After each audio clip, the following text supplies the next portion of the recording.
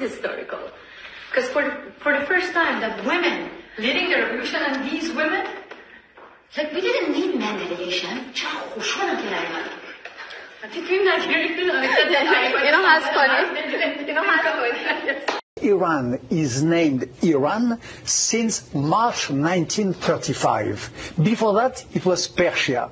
And there was an order, a demand of the Nazi regime, of the, of the embassy in Tehran, asking the Iranians, Persian of this time, to change their name and to become Iran because of Aryanism. You know, sort of brotherhood in Aryanism between the Nazis and the, and, and the Persians and, and, the Iranians. So you have till today a, a deep background, very dark, uh, uh, uh, dating to the fascist period, which is still embedded in the DNA of the Iran of today.